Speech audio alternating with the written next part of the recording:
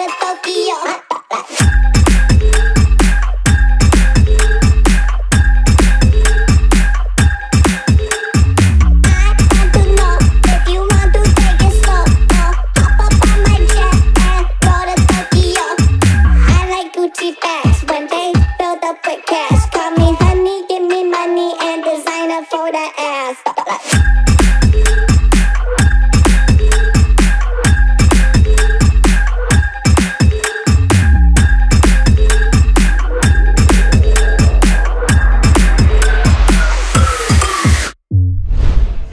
mai fatto un vlog eh, con iPhone, è la prima volta, quindi vediamo come viene. Sono da Yodobashi Camera a Tokyo e sicuramente farò un video fatto meglio per quando tornerò un giorno a Tokyo, ma visto che sono qua volevo approfittarne e portarvi con me a fare un giro in questo super negozio con queste voci molto simpatiche. Ora faccio un piccolo montaggio poi in posto, una roba molto amatoriale, quindi scusatemi se non è la qualità del, di solito che vedete qua su YouTube, ma è veramente una situazione da shopping estremo e pieno di situazioni. Allora, in questo momento sono nella sezione accessori barra tre piedi barra qualunque cosa ed è veramente impressionante vedere come innanzitutto ci sono un sacco di tre piedi ovunque, cioè è un piano intero dedicato alla fotografia, ma con piano intero intendo enorme veramente enorme. Quello che posso dirvi però è che eh, Yodobashi Camera è un negozio, allora Yodobashi innanzitutto è un negozio su otto piani ad Akihabara Tokyo, quindi fondamentalmente in questi otto piani c'è la qualunque di cose di ogni tipo. Quello che, che vorrei dirvi subito, dopo aver fatto una ventina di minuti a girare tra le varie sezioni del negozio è che è un, è un, negozio che mi mette molta molta tristezza. Vi dico perché. Un negozio del genere cioè vedere un negozio del genere così grande con così tanti accessori con così tanta scelta che vi permette di provare ogni fotocamera ogni obiettivo esistente in vendita vedere provare toccare ogni zaino tre piedi accessorio cavalletto qualunque cosa che sia per la fotografia o per i video le, le potete trovare qui e provare dal vivo. Mi mette tristezza perché è un negozio che funziona. Vende c'è gente c'è molto interesse sono persone che vogliono acquistare fotocamere, videocamere e questa cosa qua in Europa non funziona, o almeno in Italia non funziona così. I negozi che abbiamo noi di riferimento per la fotografia sono quelli seri, secondo me sono per lo più quelli online, perché quelli fisici hanno veramente poca roba, oppure sono dispersi in location irraggiungibili per tutti. E un negozio del genere in Italia eh, non funzionerebbe mai purtroppo perché c'è un'idea diversa della fotografia e questo mi mette molto tristezza perché io vorrei che ci fosse un posto del genere ma vorrei che, che questo posto funzionasse a livello italiano cosa che però onestamente mh, mm, non credo sia possibile mentre qua invece in Giappone funziona ed è una figata assurda per il resto cosa posso dirvi lato diciamo musichette 10 bellissime Lato acquisti, secondo me, ecco, vediamo se riesco a far vedere una cosa in tempo zero. C'è addirittura una parte in cui potete testare l'attrezzatura da still life. Vedete? Vedete? E anche questa è una figata assurda. Però, lato acquisti, mi sposto un pochettino dalla musica, se no non mi sentite Lato acquisti devo dire che secondo me non conviene comprare il nuovo in Giappone perché i prezzi bene o male sono come quelli europei, sono come quelli che trovate in Italia, a volte addirittura conviene di più comprare su, su Amazon Italia in realtà. Ho, ho fatto anche il confronto tra lo yen, nonostante lo yen sia debole in questo momento in cui registro il video, comunque non conviene tantissimo comprare qua. Può convenire comprare sull'usato o su magari brand che non trovereste facilmente in Italia. Non ho beccato in questo momento Yodobashi particolari offerte che mi hanno fatto dire wow, oh mio dio devo averlo. Sicuramente questa cosa però succede sugli accessori, ad esempio anche tipo roba, vedete, tipo Godox, eccetera eccetera, queste cose qui, farettini, flash, cavettini, adattatori, filter ND, ci sono dei brand che effettivamente in Europa non esistono e che possono effettivamente essere convenienti. Eh, io tra l'altro uso, uso un'app comodissima per iPhone che ha un widget che si chiama Currency che mi permette di fare i cambi in temporale del yen euro e quindi in due secondi vedo se è conveniente o no. Poi chiaramente io bene o male i prezzi dei vari prodotti li so a memoria quindi riesco tranquillamente a capire se è un affare o no. Però oggettivamente mi sono trovato di fronte a tantissimi prodotti che non conoscevo non sapevo di cosa fossero. E quindi vedete qua ci sono i color checker ad esempio eccoli qua bene o male vedete questi sono tutti brand. Ora non è una frase razzista ok però con i brand che sono occidentali come ad esempio Peak Design cose del genere non conviene assolutamente acquistare qui. Allo stesso modo anche i brand giapponesi di fotocamere come dicevo prima eh, sono quelle classiche cose che costano come da noi però ci sono dei brand cinesi e giapponesi di accessori che effettivamente hanno una convenienza però qui la classica cosa che potrei farvi vedere tutto ma sarebbe un video di 75 ore e onestamente eh, non avrebbe molto senso. Il punto è se pensate di venire in Giappone soprattutto da Akihabara, Tokyo ad acquistare eh, una nuova fotocamera Sony, Canon, Fuji quello che deve essere risparmiando 2000 euro state sbagliando completamente il pensiero e state anche buttando i soldi del viaggio perché effettivamente non conviene. Se invece venite venite qua per le magliettine, i gadgettini, queste cose qui, queste meravigliose cose che potreste non trovare in Italia o in Europa, allora è il posto giusto in cui venire. Allora, quando vi dico che c'è un uh, settore per ogni brand, vedete questa qua ad esempio è la parte Canon, dove ci sono tutte le fotocamere, obiettivi esposti, poi ad esempio c'è la parte Panasonic, qua c'è un monitor Canon con tutte le cose eh, che si possono vedere le informazioni, non è un monitor, è un foglio, fa niente. Eh, poi qua c'è la parte di, dedicata a Lumix, quindi io posso venire qua tranquillamente, prendere questa eh, GH52 e vedere innanzitutto quanto è grossa, come riesco a tenerla, come, po come posso fare. Se mi disposto di qua ci sono R7 di Canon, c'è la R6, la R5, posso tranquillamente chiedere allo staff di montare un altro obiettivo che sono tutti qua, posso provarlo qua nel negozio. Dietro alle mie spalle c'è la possibilità di chiedere degli altri obiettivi aggiuntivi ad esempio noleggiarli per la giornata o provarli meglio magari qua fuori è una figata pazzesca al quartiere. Poi c'è qua siamo da siamo da Panasonic ancora Lumix qua c'è l'S1R tutti i vari obiettivi qua esposti li vedete eccoli qua. E poi se mi sposto allora dietro di me c'è la Cinema Line di Sony eccoli qua c'è tutta la parte vlog, c'è una parte completamente dedicata al vlogging, delle cose che io avrei dovuto comprare prima di fare questo video, ok? Eccolo qua. Quindi tutte le varie fotocamere di Sony. Poi c'è anche la parte ovviamente dedicata a... Qua c'è l'L mount con tutti i vari obiettivi, qua c'è il reparto Sony, eccolo qua in alto ci sono tutti i vari prezzi con le caratteristiche le line up qui c'è una 7.4 che si può tranquillamente provare qui c'è una 7R5 che si può tranquillamente provare, prendere in mano. Sono tutti milioni di obiettivi messi ovunque flash, accessori, guardate qui cosa c'è. 400 f2.8 con una Sony A9 II qua c'è una Sony A7C con un 600 che è l'F4 GM quindi fondamentalmente sempre roba molto leggera Qui come vi dicevo ci sono tutti i vari filtri, adattatori, Kenko, ci sono dei reparti enormi, vedete? Qua poi c'è la parte dedicata a Fujifilm serie X, quindi la GFX in questo caso, ok? E anche un po' di X-mount, ma sono due sezioni di Fujifilm in realtà. Ah, qua c'è una così, tranquillamente, una GFX 100, ok?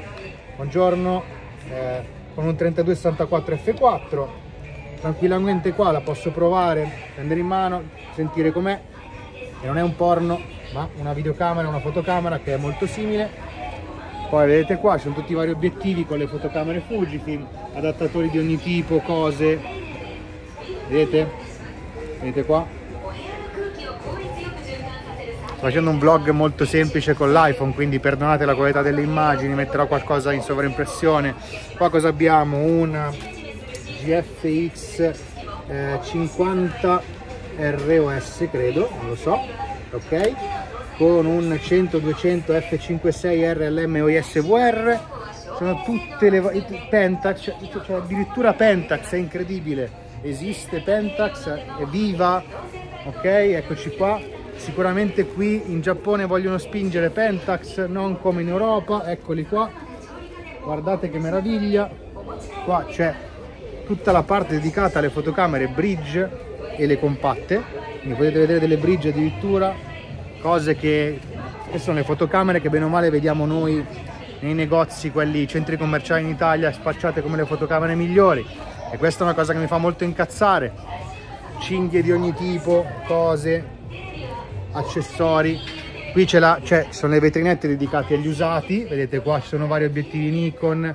E anche qui i prezzi con... non sono così convenienti, sono fino a un certo punto secondo me. Ripeto, a meno che non trovate la super offerta, poi la cosa da dire è che i giapponesi sono veramente super maniacali. Quindi se trovate qualcosa di usato in Giappone è tipo come nuovo, perché sono le classiche persone che usano le cose veramente bene, non le distruggono, non le rovinano e poi chiaramente se ci sono dei segni delle cose vengono deprezzate un pochettino, però di fatto è qualcosa che, che si può acquistare senza problemi. Alle mie spalle ancora Fujifilm, poi qua cosa c'è? Ah, qua c'è una parte intera dedicata a Sigma, l'ho vista prima perché c'è appunto l'L-mount con tutti i vari obiettivi. Qui ci sono obiettivi di ogni tipo, anche qua di Sony. Sono i Tether Tools, questi sono una figata. Tether Tools sono dei cavi fighissimi per appunto chi fa fotografie in tethering. Sono i migliori cavi al mondo per fare fotografie in tethering, ma anche in questo caso guardate un pochettino i prezzi in alcuni casi conviene di più su Amazon Italia perché? Perché Tether Tools è un brand occidentale, quindi ricordatevi, prendete nota. Ci sono anche un sacco di monitor in giro che dimostrano i funzionamenti delle fotocamere e dei sistemi di messa a fuoco, come questo di Canon. Ed è una figata perché le persone possono in un attimo capire come funziona una fotocamera e soprattutto se vengono qua da Yodobashi a chiedere informazioni trovano delle persone altamente qualificate a rispondere, non come succede in Italia. Bene, Canon, Sigma, Tamron, Tokina, ci sono tutti i brand principali. Ah, qua ci sono, ogni tanto compaiono queste vetrine con delle SD, con delle cose che potete trovare, quindi fondamentalmente c'è di tutto, c'è la sezione dedicata ai video, quindi videomakers, come dicevo prima Cinema Line, c'è la, la serie C di EOS ovviamente qui, eccola qui, c'è un settore una, una, zona dedicata solo alle memorie. Alle mie spalle tutto quello che vedete sono tutte me memorie di ogni tipo, anche di qua. Ci sono delle persone, dello staff che stanno lì e sanno tutto su quelle memorie. Quindi possono dirvi qual è la memoria giusta per la vostra fotocamera. Vi dite quello che dovete fare, vi possono dire che tipo di velocità vi serve come memoria, che formato in base alla vostra videocamera o fotocamera. Questo si chiama esperienza e competenza. È una parte dedicata ad Hasselblad ovviamente c'è Hasselblad, c'è Leica, c'è anche Leica più avanti, qua c'è Nikon, Nikon con Z9, tutti gli obiettivi anche in questo caso. Ci sono anche le reflex di Nikon, quelle un po' più vecchiotte ormai, tipo di 850, che però è sempre storica. Eccola qua, di 850, ancora in vendita a eh, 4.575 yen. No, scusatemi, 349.800 yen, infatti stavo dicendo è regalata così, no?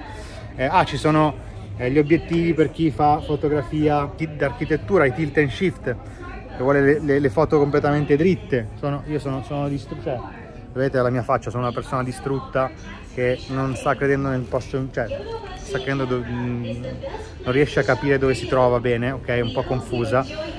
Io sapete che non ho mai visto in tutta Italia e nei miei vari viaggi non ho mai visto tre piedi ghizzo esposti così, cioè qua ce ne sono almeno 20 io posso toccarli e capire, posso stare qua a dire ok, questo mi piace perché così, questo è leggero, questo mi serve a questo, sono tutti qui, tutti qua, c'è una fila enorme di tre piedi, qua ci sono tutte le luci, flash, softbox, modificatori di ogni tipo, ci sono i Profoto, cioè ci sono i Fottix, ci sono i Godox, ci sono marche che non conosco, ci sono cose, cioè sono confuso, non so più dove, dove girarmi, perché c'è qualunque cosa, per un fotografo, per un videomaker, c'è qualunque cosa.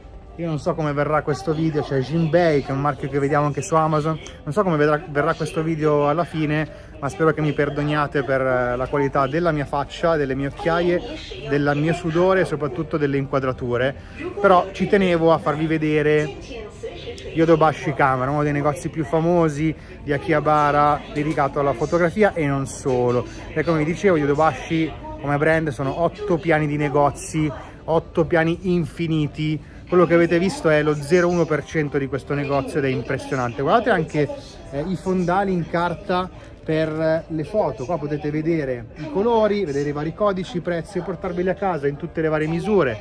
Come dicevo prima qua c'è la parte dedicata ai tre piedi qua ci sono gli zaini qua ci sono cose c'è il mondo. Quindi ah guardate qui ci sono anche i vari accessori della Joby e della Sirui questo dovrebbe essere per video se non ricordo male cioè binocoli, cose, si sto impazzendo. Torniamo un attimo nel feticcio degli zaini, che è meraviglioso, eccoci qua. Però il punto è proprio questo, allora L'impressione che ho avuto di Dobashi Camera è che è il classico negozio in cui devi starci, cioè se sei un fotografo appassionato di fotografia, videomaker eccetera eccetera, devi veramente passarci una giornata, nel senso che devi essere qua tranquillo, con calma, guardarti reparto per reparto, non devi avere i minuti contati, non devi, non devi avere altro da fare in quel giorno, no? devi stare qua tranquillo e dire ok, questo mi conviene o no, questo mi conviene o no, anche in base a quello che dovete fare, eccetera, eccetera. Questo significa che se riuscite a eh, venire in Giappone, venire a Tokyo a fare un giro per mille altri motivi e a visitare questo, questo negozio, potreste potenzialmente farvi molto male. Ma secondo me, ripeto, più per gli accessori o gadget simili che possono tornarvi utili e che potete trovare solamente qui. Ciò non toglie che magari nel momento in cui venite voi trovate un obiettivo con qualche sconto, con qualche offerta e non, non dimenticatevi che c'è il tax free, quindi presentando il passaporto potete avere il 10% di sconto. Questo però poi significa che dovete dichiarare in dogana quello che avete acquistato e di conseguenza in base al valore andare a compensare. Però di fatto eh, Yodobashi è un negozio tax free quindi potete tranquillamente col passaporto fare acquisti con il 10% però è inutile che vi faccia adesso vedere mille prezzi mille cose mille... perché anche la roba usata cambia completamente. Parlavo con lo staff e mi, mi, mi spiegavano che comunque sono cose che cambiano in base a quello che chiaramente capita offerte prezzi. Quindi magari nel momento in cui capitate voi in Giappone in questo negozio ci sono delle offerte devastanti. Questo non, non si può sapere. Però è, è, veramente un paradiso questo posto per i fotografi e per i videomaker eccetera eccetera. E ripeto mi dispiace che non esista una cosa del genere in Italia in Europa. Poi per carità ci sono altri negozi enormi nel mondo. Eh, c'è B&H in America eh, c'è Adorama sempre a New York in America.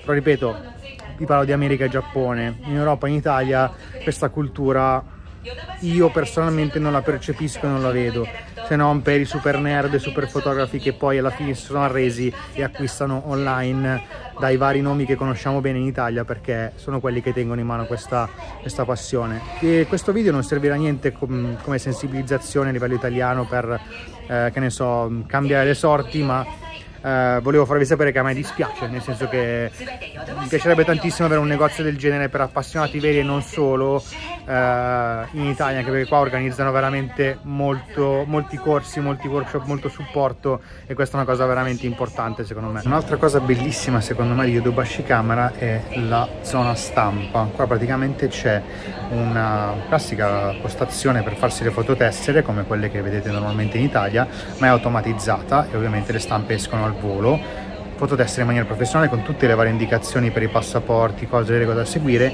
ma qua dietro c'è un'intera area dedicata alla stampa eh, self-service, nel senso che se volete di là ci sono i professionisti della stampa vi fanno robe più professionali. Se invece qua dovete tipo stampare le foto delle vacanze o cose come dire più amatoriali, sono migliaia di postazioni, ne ho viste, ne ho contate almeno 25 anche le mie spalle nelle varie file, eh, dove ci sono tutte le varie istruzioni, ci sono i lettori per le schede SD di ogni tipo, potete collegare penne USB, schede, mettere qualunque cosa, a monitor vedete quello che state stampando e stampate direttamente sul tipo di carta che preferite, facendovi magari aiutare anche da un esperto eh, e fate tutto direttamente qua eh, in Italia è già buona se vediamo di questi, uno di questi macchinari ogni eh, 10 città enormi, non lo so, però di fatto qui è un altro intero reparto di Yodobashi Camera dedicato proprio alla stampa, cosa veramente molto importante per i fotografi chiaramente. Questo era un pochettino il video di Yodobashi Camera, se avete delle domande me le fate sotto nei commenti e spero che vi sia piaciuto e che vi abbia dato qualche informazione interessante. Noi ci vediamo nel prossimo video, questo è il momento in cui si chiude il sipario e torno a fare un giro in questi reparti meravigliosi.